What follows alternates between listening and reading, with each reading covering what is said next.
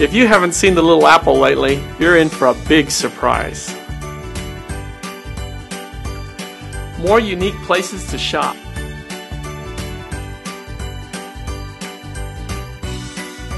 And dine. You'll love my Manhattan. I love the Little Apple. Yeah, me too. I'm loving the Little Apple. And you will too.